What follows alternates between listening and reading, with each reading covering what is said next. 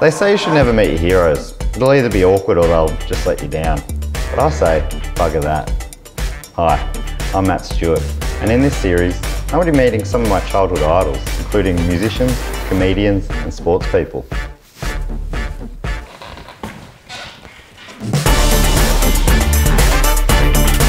For this episode, I sat down and spoke with one of the all-time legends of Australian comedy, Mr. Anthony Morgan. Thank you so much for joining us, Anthony Morgan. Oh, it's a pleasure. Thanks for asking. I can't, be- I can't believe you're here or there um, talking to me. Right. Have you not been? You've been doing this sort of thing for a long time, haven't you? This isn't. It's not. It's it's not the uh, virus that has brought this technology to the to our. Uh, I've always been doing this. Yeah, well, you live Haven't- in a remote spot in country Tasmania, right? So I guess it's Yes. a little more necessary. Yes. And you, you built your own house? S- Yeah. Sue and I built it. Yeah. You just packed up and left Melbourne uh, and went and built a house in a farm. There's a yeah. There's a little bit of time in between there where I packed up and left Melbourne, and went to Tassie, and uh, then just stood and faced south for a good long while. And you did this. I mean, this is probably, it sort of like blows a lot of people's mind, but you did this when you were one of the biggest comedians in Australia. You sort of just quit and moved to the country. I well, I quit and I went away. Yeah, it was it wasn't affecting me very well, so I I left. I, th- I think I had to stop doing it. I, th- I guess I thought I'd uh, I would die, which would be simple simple um, solution. Do you know what I mean? So you stop Yeah. doing it and then you die. Well, that's fine. So I had no plans beyond that, and then I didn't die. Right. so you had to come up with some more things to do, like build a house. Well, I had to I had to come to terms with myself a little bit. I think, yeah. You know, when I first saw you on TV, like this, Yes. really, I was a kid in um, somewhere in the mid 90s, and you were on the Great Debate. So back then, there were two big Melbourne Comedy Festival TV specials, I think. One was the Gala, and one was the Great Debate. And the Okay. debate was it was real fun. I don't know if you have much recollection of these. I think you did three or four of them, and I can't remember which one it was. Yeah, I did a bunch. I can't remember because I yeah, I did a yeah, I did a bunch of them, but I can't remember. It was uh, like ideas get uh, sort of uh, seconded and it's it's this exactly the same show, but it's a different show sometimes, you know. I haven't been able to find any footage of it, but I remember it was enjoying it, think it was real fun and, and funny. And then all of a sudden you came out and just sort of blew it all up. And it was, I don't know, it just made me feel uh, excited. I just remember being like, what the fuck is going on? Oh, In a good way. Oh, good, good. I re- well, I remember, I, re- I remember one debate. The first one, uh, Matthew Parkinson helped me with because he knew how to do those things.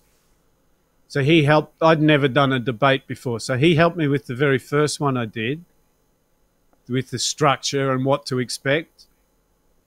And, but my favourite one I remembered I drew a picture of everyone on my team who had very big penises, and uh, including Judith Judith Lucy, I think was on our team.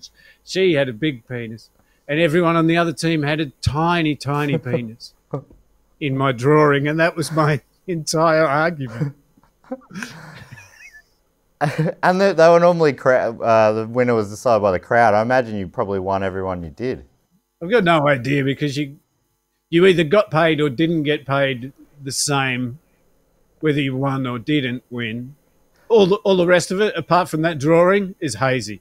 I think of you as the person who like um, opened my mind to comedy being good, and then about twenty years later, I did it, and I'm probably I would say have nothing in common with your performance style. You're exciting, funny, all those sort of things, uh, but still, I uh, I basically blame you for um, starting me on this path that I'm I'm now on. Good.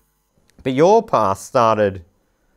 It's a, you began in the 80s as a 20 year old. Is that right? Seventies, 70s. seventy-eight or seventy-nine. I can't remember. Oh, and never done it before. Never been on stage before, and had no idea what. I had no idea how to do it or what to do, and was shocking. Was shocking for a long time. Right. But in the 70s, you would have been one of like, you know, there would have been under 100 comedians in Australia, wouldn't there, back then? Oh, oh, maybe, yeah. But a lot of the old ones, the older ones were still alive. You know, Maury Fields was still working, still working at Tikki and John's in Melbourne Yeah. now and then. You know, show up and uh, Buster Fiddess was still going. They were good. They were good uh, old comics, and then uh, I think there was that '70s crop all in Melbourne. There was uh, uh, Quantock and uh, all of that crew from the who, uh, you know, the blokes who became the Dodgy Brothers and all. Yeah. All that Australia crew. standing in it and all that. Yes, yeah, all that mob. So they were around, but they they had their own venue and they and they performed there, and then got other people to perform there. And then there was the last laugh, I think, started up, and he put a little room upstairs where you could try out stand up. You know, smaller, smaller. Not not so uh, involved theatrical cabaret sort of things stand up and little, you know, cabaret. So that's where I learned.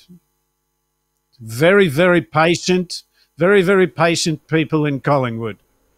I read a story that in your first gig, your first spot, you were bombing pretty bad, and then someone heckled you, and you, you, you got your best laugh by telling them to shut up. That was the first time I was ever on, and I, I, was so terrible. But I was so I was just shaking like a leaf, and I was terrified. That's why. And this woman was laughing at how scared and shocking I was. Um, yeah, and she laughed at me, and I said, "Shut up." Like that was the best I could manage, and every everyone laughed, and I thought, "Oh, I like that.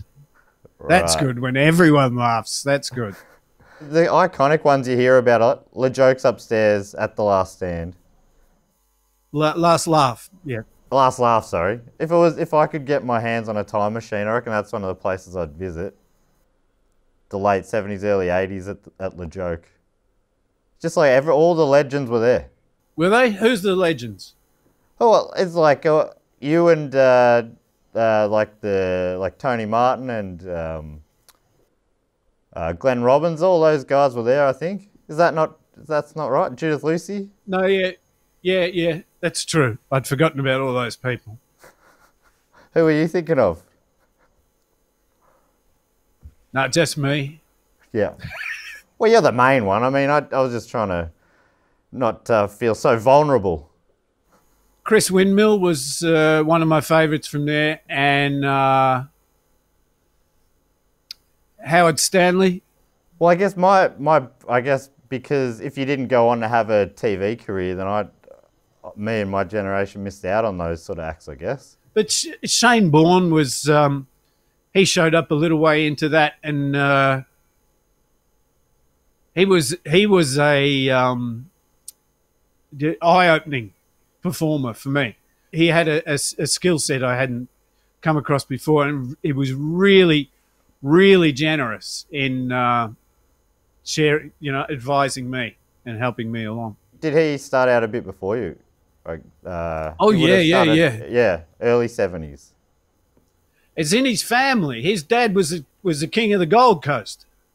right, that's an honour. Yeah, absolutely. I think maybe your most infamous story is um, when you went over to Edinburgh for the Fringe and you're playing the Bear Pit, and which is, is like famously one of the roughest rooms in the world for comedy. Or it used to be. I don't know if it's like. I don't think it's like that anymore, but it still exists.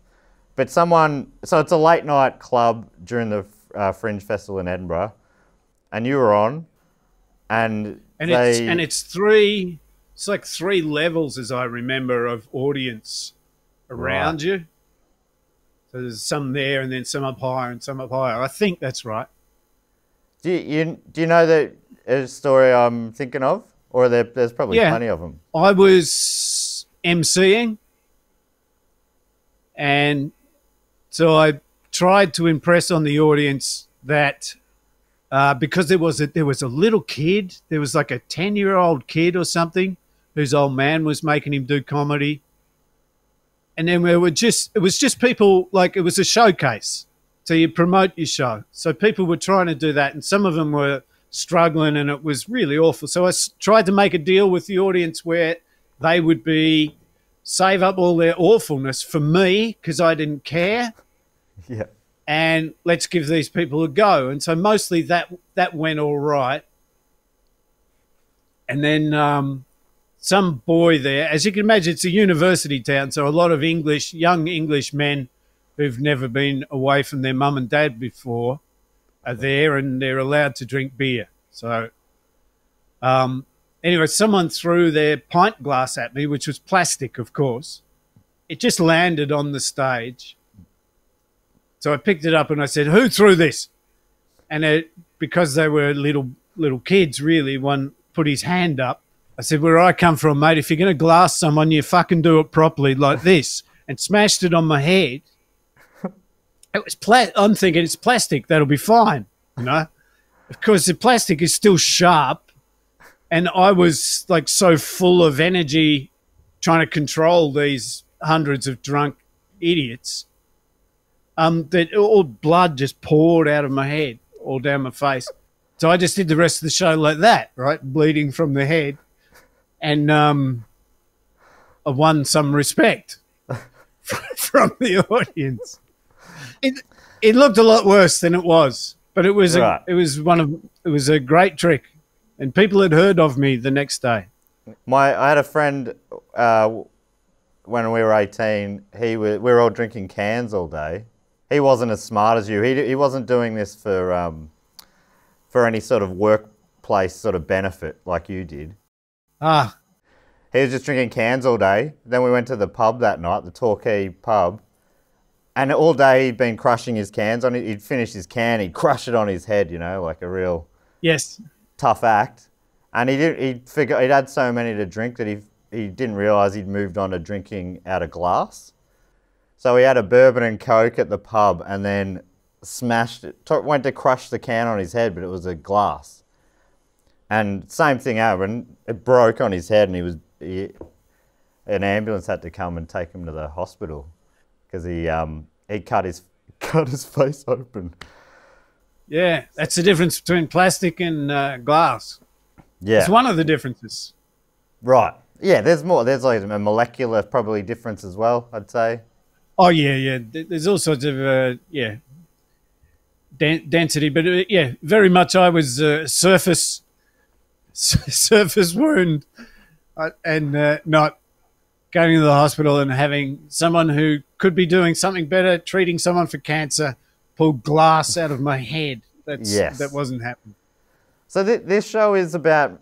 It's like maybe the most self-indulgent show ever made. Uh, it's about me meeting my heroes.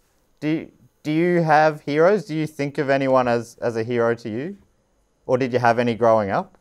Um, I was very taken with um, Alan Ladd's character in uh, Shane, the movie. Shane the movie. Shane, yeah. That's a great name for a film. I forget. I think his name was Shane. Right. That makes sense. I reckon. Anyway, he was a gunslinger who'd stopped and he helped some people out, and then there were bad men in the town.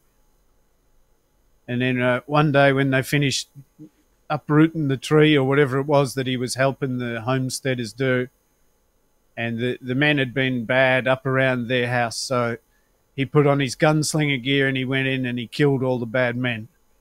And then he had to leave because he was a bad man.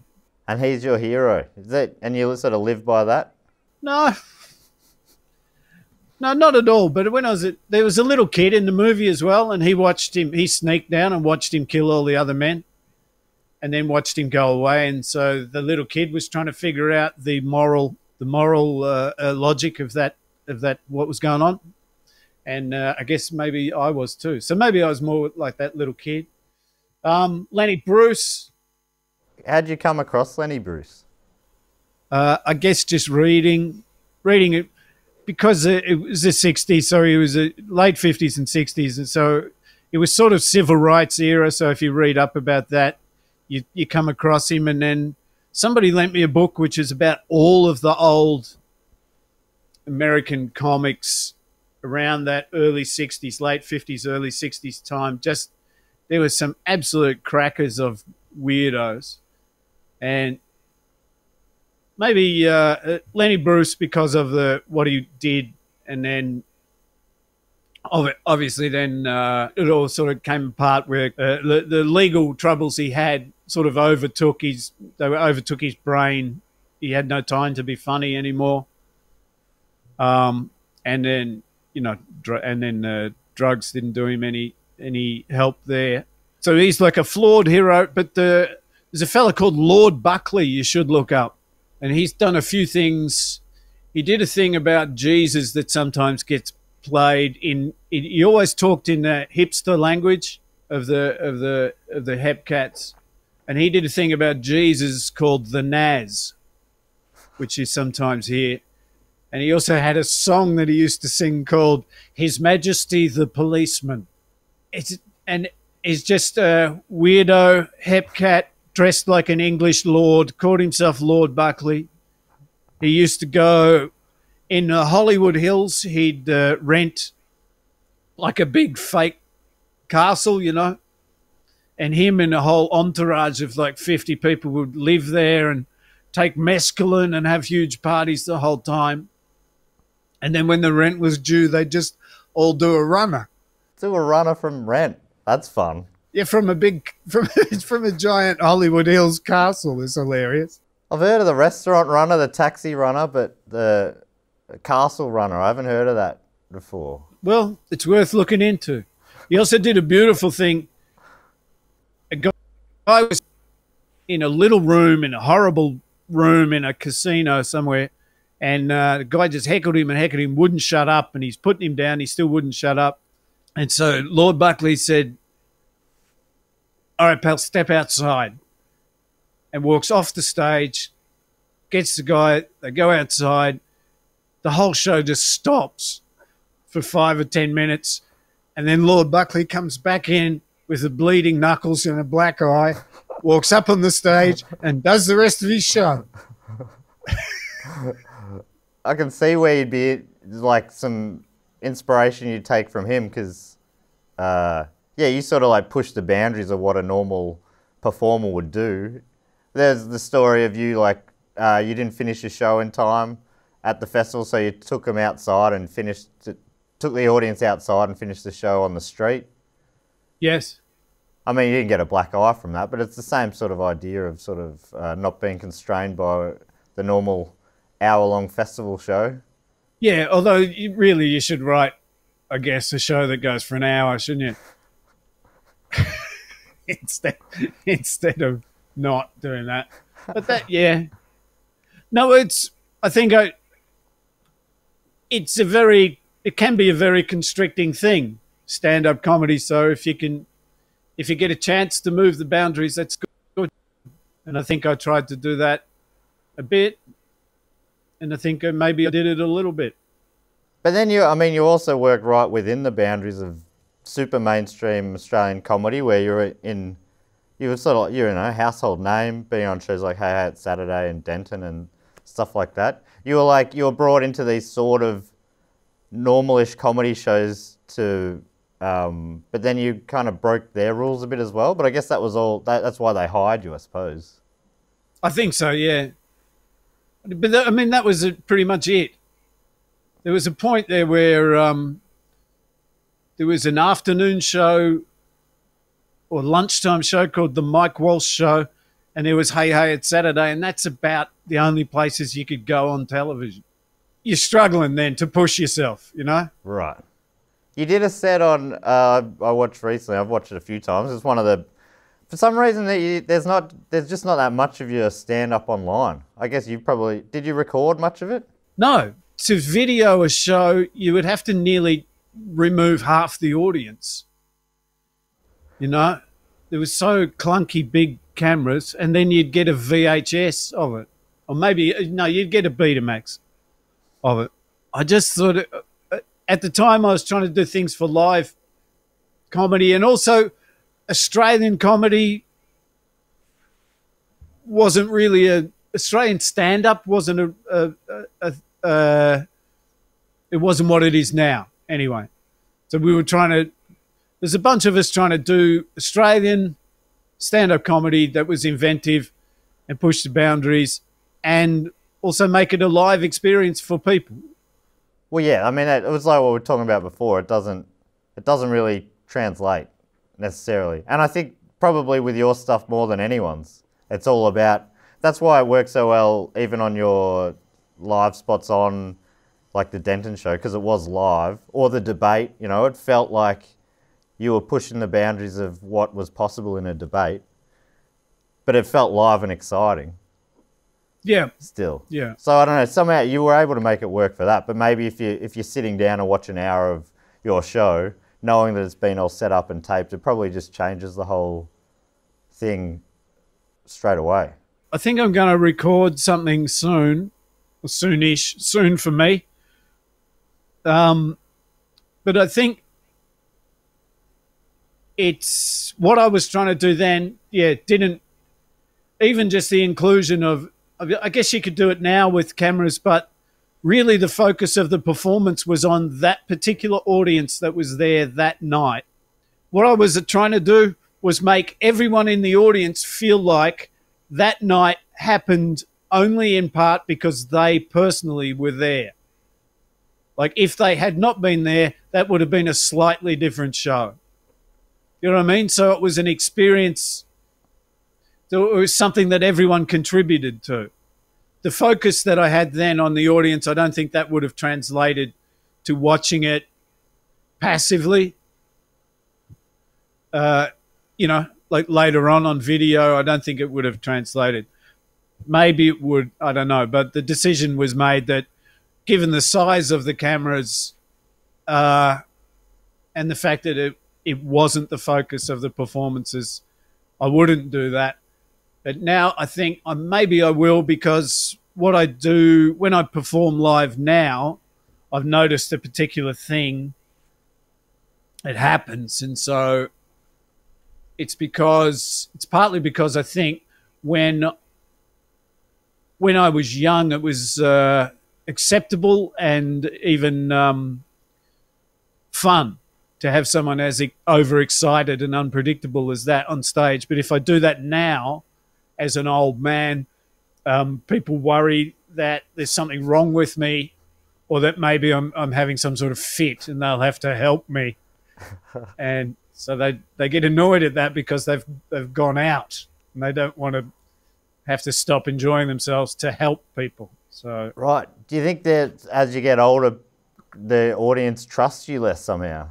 Kind of. Uh, well, they don't know who I am, I guess, because of that um, because of that uh, break that I took, big break that I'm still having. I'm, I'm bringing you out somewhere. Okay, what great. I, oh no, I don't think I can. Oh yes, I can. Hang on. Pull that out. Is that the one? Yeah. What I did was I thought about that, and I made myself. Can't really see. I just moved my head around like it would have got, gave, given me a better angle, um, which I realised was silly as soon as I did it. Uh, can you see here this in the yes. distance? That big mannequin thing? I built an eight foot tall version of me when I was young. right. So it's a gigantic um, automaton of me when I was young and I'm going to do a show. I'm going to try him out shortly, see if he goes. Um, maybe next month, and that'll do all the stuff that I used to do when I was young, and so people won't be upset about that. And then I'll do the second half. So that the automaton will be on stage by itself for the first half of the show. Yeah, yeah. Well, I'll be I'll be behind it, but it'll be doing the the show. uh, and it's been uh, it's been amusing trying to sort that out, how that works. Never built one before. You've never built an eight foot automaton of yourself before. I know it sounds surprising. Yeah. You know, you're a busy man. Most people would have done it by now, but No. So talking about your spots on uh, one of my favourite ones that I read about. I haven't seen it, but you uh, on the Denton show that he used to do. A, Andrew Denton used to do a live cross to you, and you'd be anywhere. He wouldn't know where you'd be. One time you got a tattoo of Lenny Bruce on your back Yes, on live TV, national TV. that's how innocent I was. That was early on. Um, I did that. I told them that idea, which they loved because for their reasons. But I thought to myself, I wonder if I can get a free ride in a plane and stay at a, at a hotel and get a tattoo out of this. so that was like me just milking all the perks that I could think of. And I, I was completely satisfied. I just thought, this is it. You've arrived. but that's like that's how that's how stupid, naive, innocent I was. That was all I could think of to get. Like Free plane ticket. eh, and stay in a hotel. Another one you did was uh, you hit a golf ball off the top of the Rialto. Yes. Two of Melbourne's icons meeting in that moment. Amazing. I wish I could see it. I wish I was there. Anthony Morgan on the top of the Rialto Tower. Um, I was going to do it from the restaurant, but uh, it wasn't finished and it was a bit dull. And I don't think it span around. We went up on the roof and it was just perfect. Did you ever ever hear where the ball landed? I I wanted to do it. I thought I could hit it across, and the cameraman said, "What about if I film the ball, and then I pan up just as you're hitting it, and then you don't hit the ball?" I said, "That's even better. yeah, right. That's even I- that's even safer than my idea of me hitting it on top of another building." In my head, I'm like, what was the 90s? How were you allowed to do that?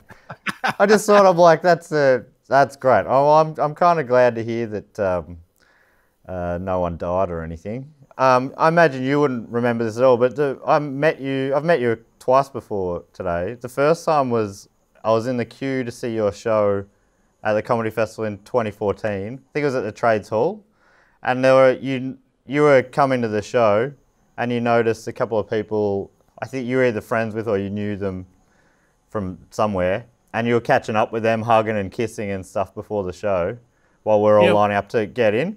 And then you looked up, you noticed me standing there awkwardly, uh, like a half a meter away, and you go, "I don't want to leave anyone out." And you came and you gave me a hug and you kissed me on the cheek. There you go. And and I, I was trying to figure out when it was the other day, and I realised, not that this means all that much, but I feel like it was maybe a lucky kiss because later that week I won the Raw Comedy competition, which was in the town hall, main room, biggest gig I've ever played, and it was my tenth gig. But um, but Yeah. that was also so I, I appreciate the the lucky kiss you gave me, the kiss of life. Yep. But also, you, we, is it true that you were the first Aussie comedian to ever um, play the main hall at the town hall? Yes. And you were selling it out, 1300 seater. I think I sold out the second two. I think there was a few for the first one. I did three shows there, three different shows. Because why would you do the same show? So, I did three different one hour shows there. And um, I think it was pretty good by the end. Yeah. But it like so, you, and, and that happens now. You know, there'll be a handful of acts that'll play that room each year, maybe at the festival. Yeah. Um, But it was sort of unheard of at the time. They'd use it for only big lineup events and stuff, but never for one act that could sell out a room that size by themselves. But I think that's like, so I was on television, like you say, and I was probably on the radio then as well. So you just, you've got a name, and the, the manager said we can do this, so we did it. You know, Something I um, found uh, interesting as well, uh, reading about you this week, was you were the so Token is the big comedy co- comedy company in Australia, I guess, management company, and you were the first act for Token. yes, yes, they they had a good practice on me. So how, how did that come about? I needed a hand with uh, organising things, knowing what contracts looked like, and all that. And Kevin was just thinking about starting to do it. Kevin and Angus, Bill. So we just uh, got together and did it. Started doing that. Yeah, right. And then it sort of ended up being now pretty much all the all the big TV stars in Australian comedy are, are pretty much all grouped together there with you. They all followed followed you there. Token are really good at it now. The idea that you should never meet your heroes. What do you think about it? Do you agree with that as an idea? Oh, oh no, not really. I think it's a. Um, I've met some of mine. Shane? No, I never met him. I didn't. I never met Lord Buckley. No, I met some of my musical heroes, and I met. We used to because uh, my old man used to work with Kevin Murray, who's the captain of um, Fitzroy way back. We used to run out and uh, and uh, uh, say good day to him at the end of the matches. Your tattoos are sort of reminiscent of his a little bit as well. Yeah, he probably had more than me. I'm not going to hold my tattoos up. Um, and Gary Lazarus came to our house once. Gary Lazarus. He was a lion as well, was Nope. he? Yeah, number 31. Gary Lazarus. Great name. I think he ended up coaching uh, at uh, Mount Gambier way. Nice spot there.